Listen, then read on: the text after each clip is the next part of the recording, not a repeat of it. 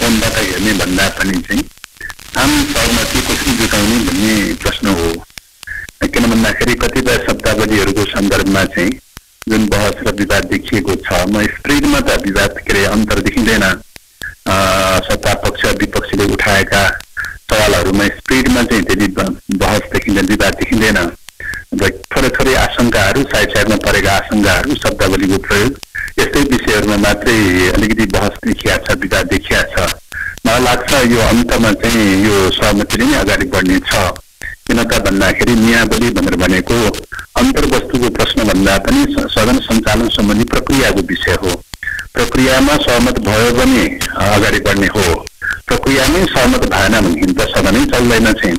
त्यसो भएको हुनाले यो प्रश्नमा अरू विषयहरूमा अल्पमत र बहुमतको प्रक्रियाबाट गए पनि यो विषयमा चाहिँ कि त अल्पमत बहुमतको प्रक्रियाबाट जाउँ भन्ने कुरामा सहमत हुनु पर्यो तयार भएको छैन नि त उनीहरूले त सहमतिकै कुरा गरिरहेछन् नि अहिले आएर फेरि अब यसमा त्यही अब सहमतिकै पाटोको बारेमा हामी जोड गरिरहेका छौँ यो बिचमा चाहिँ हामी शीर्ष नेताहरूले हामी सहमति गर्ने प्रयास गर्छौँ भनेर भन्नुभएको हुनाले चाहिँ हामी लामै समयसम्म प्रतीक्षा गऱ्यौँ शीर्ष नेताहरूको बिचमा पनि सहमति हुन सकेका छैन अब शीर्ष नेताहरू बिचमा सहमत भएको खण्डमा राम्रो फेरि पनि चाहिँ उहाँहरूलाई रिक्वेस्ट गर्ने।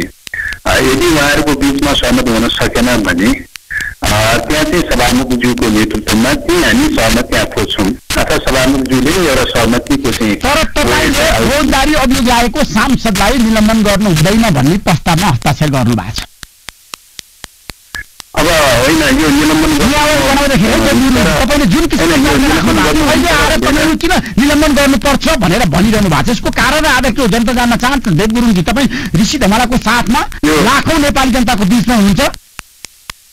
तपाईँको यो शब्दको मात्रै फरकको विषय हो चाहिँ। निलम्बन र ननिलम्बनको प्रश्न भन्दा पनि चाहिँ शब्दको विषयमा मात्रै फरक हो। अन्तरयमा के हो त भन्दाखेरि चाहिँ तपाईँको चाहे निलम्बनको शब्दावधि प्रयोग गर्नुहोस् चाहे चाहिँ सबै प्रकारका उन्मुक्तिका अधिकारहरूबाट चाहिँ स्थगन गर्नुहोस् होइन? थनामा रहेको अवधिमा सबै प्रकारका अधिकारहरूबाट स्थगन गर्नुहोस् कुरो त आखिरमा सारमा त एउटै हो चाहिँ। त्यसो भएको हुनाले चाहिँ त्यो शब्दावलीमै केही रहेका आशङ्काहरूको बारेमा रहेको बहस र छलफलको विषय मात्रै हो। त्यसैले मलाई आशा छ विश्वास छ र चाहिँ अन्तमा चाहिँ सहमतिमा पुग्नेछ भन्ने कुरामा आशा र विश्वास छ। पहिलो कुरा त विशेष नेताहरूले सहमति गर्नुहुनेछ। दोस्रो कुरा उहाँहरूको तहबाट सायद हुन सकेन भने पनि। सभामुखज्यूले पहल गरेर चाहिँ सहमति जुटाउने र सभामुखज्यूले एउटा सोल्युसन चाहिँ लिएर आउनु पर्यो। र त्यसमा चाहिँ हामी सबै सहमति भएर अगाडि बढ्नेछौँ भन्ने कुरामा हिजो लास्ट टाइममा चाहिँ तपाईँको भएको छलफलमा हाम्रो स्पिडमा फरक छैन। खालि शब्दावलीहरूमा मात्रै फरक हो। एउटा पोइन्टमा त्यो कुरामा हामी एग्री भएका छौँ। दोस्रो कुरा चाहिँ तपाईँको नेताहरूले सहमति गरिदिनु भयो सबभन्दा राम्रो नेताहरूबाट सहमत हुन सकेन भने सभामुखले चाहिँ सोल्युसन खोल्ने सभामुखले गरेको निर्णयलाई चाहिँ मानेर जानुपर्छ भन्ने कुरामा चाहिँ हामी सहमतिमा गराउँदाखेरि जुन किसिमको पोजिसनमा हुन्थ्यो नेपाल कम्युनिस्ट पार्टीको नेताको रूपमा तपाईँले जुन तर्क राख्नु भएको थियो नेपाली कङ्ग्रेस राजापरा सङ्घीय संसदीय फोरमसँग तपाईँको कुरा मिलेको थियो।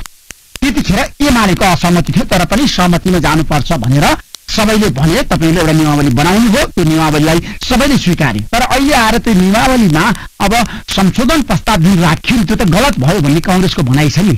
सहमति किन तोड्यो नेपाल कम्युनिस्ट पार्टीले? होइन तपाईँको जे विगत कालमा समितिमा जे सहमति गरिएको छ त्यो सहमतिलाई आम रूपमा सबैको बिचमा सहमति कसरी जुटाउने भन्ने कुरा हो। सदनमा त हाउसमा त तपाईँको दुई सय पचहत्तरजनाको बिचमा त सहमति त खोज्नु पर्यो चाहिँ होइन? र त्यस कारणले गर्दाखेरि हामी समितिमा जतिजना थियौँ समितिमा भएका साथीहरूको बिचमा मलाई लाग्छ प्रेम सुवालजी मान्य प्रेम सुवालजी बाहेक चाहिँ अरू सबै सर्वसहमति भएकै अवस्था हो। त्यो सहमतिलाई हामी हाउसबाट पनि सहमति जुटाउन चाहेको हो। त हाउसमा आइपुग्दाखेरि त दुई सय सत्तरजनाको बिचमा आइपुग्दाखेरि त कसैले न कसैले त फेरि लागेको कुरा त उठाउन सक्ने कुरा त भयो त चाहिँ त्यस कारणले गर्दाखेरि त्यो चाहिँ उठाउने कुरा एउटा पाटो भयो। अब त्यसरी उठेको अवस्थामा त्यो त्यो बिन्दुमा पनि कसरी सहमति जुटाउने त भन्ने कुरा त सहमति जुटाउने उपाय त खोज्नु पर्यो त। त्यसैले यहाँ ब्याज भएको नभएको भन्ने प्रश्न भन्दा पनि चाहिँ कुरा के हो त भन्दाखेरि दुई सय पचहत्तरजनाकै बिचमा सहमति जुटाउने प्रयास गर्नु पर्यो नि भन्ने कुरा हो चाहिँ त्यसमा सहमति नै हुन्छ अब। नियमावली सहमतिमै पारित मलाई आशा छ आशा र विश्वास छ कि चाहिँ तपाईँको हिजोको लेटेस्ट रूपमा हिजो सर्वदलीय बैठक चाहिँ हामी बसेका थियौँ। प्रमुखज्यूको आमन्त्रणमा आह्वानमा चाहिँ सर्वदलीय बैठक बसेको थियो। सर्वदलीय बैठकमा चलेको छलफल